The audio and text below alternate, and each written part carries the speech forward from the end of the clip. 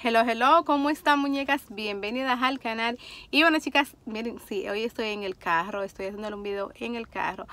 Y bueno, pues este, antes de empezar a platicar y le voy a explicar por qué estoy en el carro.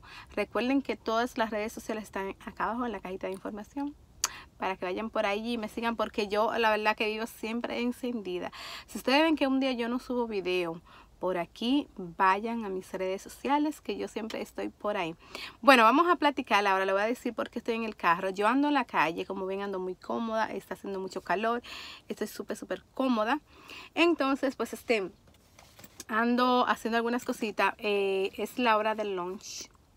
Y yo estaba en una oficina, entonces... Eh, tenía que recoger unos documentos, estaba haciendo un proceso, la persona que me tenía que entregar unos documentos se me fue a lonchar, se fue a comer y yo no me di cuenta, pero bueno, la voy a esperar aquí. Mientras tanto, decidí hacer este video porque ustedes me preguntan mucho cómo yo tomé la decisión de operarme. Entonces les voy a contar por qué me operé, cómo vinieron mis operaciones, cuál fue mi primera operación. Eh, este es un tema que me gusta platicarle mucho porque yo sé que muchas de ustedes tienen miedo a veces de operarse o cosas así. Entonces, eh, déjenme decirle, primeramente yo me hice la abdominoplastía porque yo tuve dos cesáreas, dos cesáreas tuve yo. Eh, yo no tenía como que mucha piel que me colgaba ni nada, pero como ustedes saben que yo tengo problema del estómago, a mí se me hinchaba la barriga muy fácil, se me hincha, de hecho, ustedes ven que a veces cuando estoy de vacaciones o, estoy hasta un par y cuando me la barriga está más grande que nunca y es porque se me hincha, quizás si tomo eh, alguna soda o estoy comiendo más comida o viceversa, como cosas que no debo comer. Entonces pues está ahí, estoy más jodida. bueno, entonces ah, cuando yo di a luz de Yari, yo tenía siete meses. A los siete meses mi barriga se ponía como si yo tuviera seis meses de embarazo. Y de hecho yo tenía siete meses que allá había dado a luz. Entonces imagínense ustedes. Porque mi barriga como que no era por los lados, sino como que aquí adelante. Se, se me ponía adelante. Como una barriguita bien jodona. Parece una pancita, se lo juro, pero de embarazo. Bueno, entonces esa fue una de las decisiones que me, que me llevó a quererme este, cortar la barriguita. Ahora les cuento. Yo quise cortarme la barriga porque yo tengo entendido que si tú te haces lipo, tu bebé engordar, como esa grasa que te, seca, te sacan ahí, la piel queda un poco flácida y si te engorda, eh, fácilmente vuelve otra vez a panza para atrás. Entonces, yo por eso me la corté. Ahora, si ustedes tienen estría, eh, cositas así, es bueno porque ahí mismo ya también se va. Entonces, este, esa como de liposición como mejor es para mujeres, por ejemplo, que eh, a veces no han parido o hay tipo de cuerpo también que dan a luz y echan como muy poquita panza y se pueden hacer su chin de lipo, está bien. Pero yo para mí recomiendo mejor cortarme mi barriguita, aunque haya una cicatriz, un tatuaje o se pone unos bikini, uno que tapen ancho y eso qué, porque eso es algo que es para ti, eso no, pasa nada, que es para ti o para tu pareja, que no es que cosa que tú lo vas a estar mostrando así por así, total, como quiera a veces llevamos operaciones que son por salud, entonces si eso es algo que te va a hacer sentir bien, no hay problema, no hay problema, no hay que avergonzarse, avergonzarse. En mi caso, por ejemplo, yo la tapé con un, tatuaje que ustedes saben que ustedes lo han visto muchísimo en muchos videos. De hecho, tengo muchos problemas con mucha ropa porque son un poquito claras y a veces se me nota, pero bueno, mejor que se me vea eso y no la cicatriz. En fin, luego yo decidí hacerme los senos, lo cual, la verdad, honestamente, si yo tuviera la experiencia que yo tengo ahora, yo no me hubiera hecho los senos. Y yo quiero que ustedes eh, escuchen bien este tema porque es muy importante. Eh, porque me voy a desahogar y me voy a expresar un poquito también con usted en cuanto a esto. Miren, los senos yo me lo hice y yo no lo tenía tan aguado ni nada. Yo quería unos senos perfectos, parados y todo, y lo que hice fue que me jodí.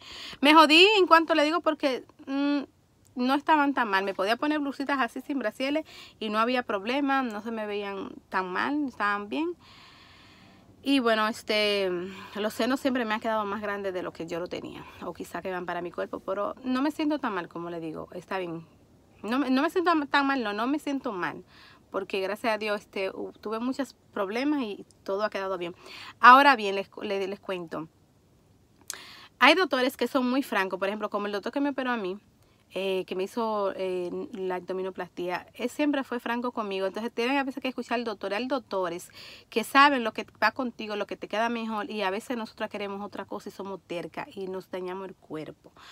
No tengan miedo de operarse siempre y cuando ustedes estén bien de salud. A veces hay doctores que nos dicen, no, tú no te puedes operar porque tú, te, tú sufres de esto, tú, sufres de aquello y aún así a veces quieren seguir, seguir adelante y se operan. En el caso mío, eh, mi primer doctor que fue que me operó de la abdominoplastia, me dijo cómo hacerme los senos, cómo me iban a quedar bonito y yo fui terca y no quise hacérmelo así, yo no, supuestamente eso no era lo que quería, pero eso era lo que me iba a quedar mejor y yo y opté por buscar otro doctor donde fue un desastre total en mi vida y bueno, mi salud, mi bolsillo, todo fue eh, un desastre.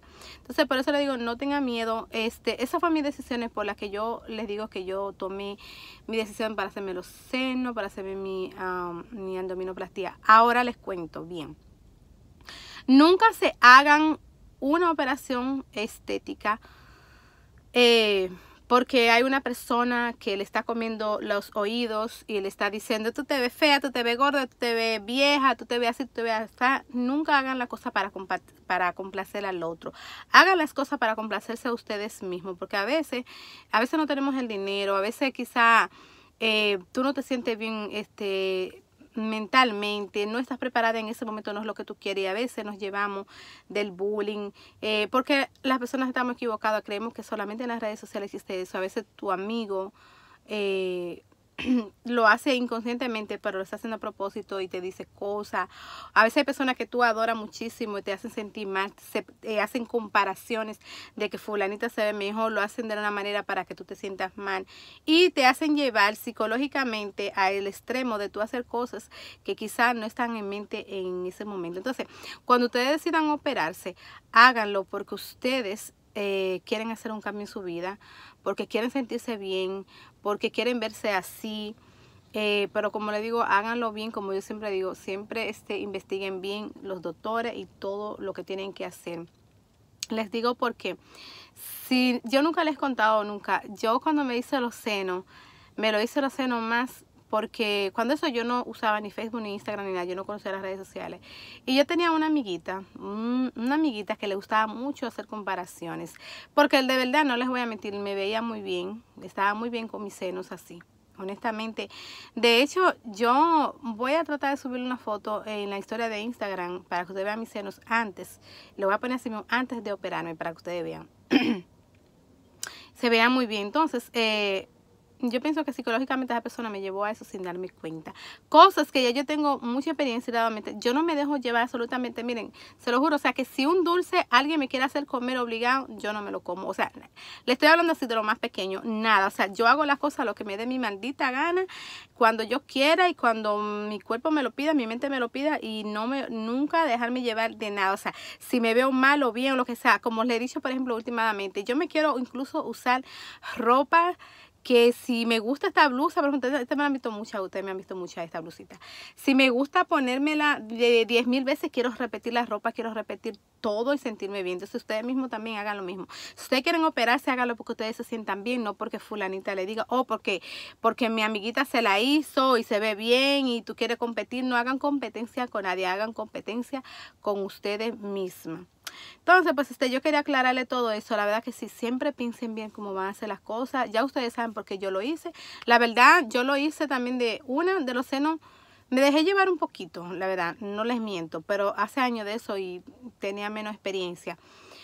Pero tampoco no me arrepiento, porque yo nunca me he arrepentido de lo que hago. Pero también cuando sí me hice la abdominoplastia fue decisión mía propia. No me, me sentía, me deprimía mucho, no les voy a mentir. Entonces lo hice, me sentí muy bien, cambió mi vida completamente. Soy otra persona completamente mentalmente porque me, siempre me he sentido bien ahora con mi cuerpo, aunque me aumente, pero me siento más segura para ponerme mi ropa. Así que sean felices y hagan sus cositas que ustedes quieran hacerse. Y no necesitan, que nunca necesiten la aprobación de nadie. Hagan las cosas porque usted le sale del corazón. Así que las voy a dejar y nos vemos en otro video, chicas. Eh, estoy preparándoles más videos ya ah, para subírselo toda esta semana. Se lo estoy preparando para darle así como que, eh, ¿cómo les puedo decir? Como no sé cómo decirle, pero le voy a dar muchos videos, le voy a tirar muchos videos así de una, así rápido, así que se los estoy preparando todo, así que ya ustedes saben, le mando muchos, muchos besitos y muchos abrazos.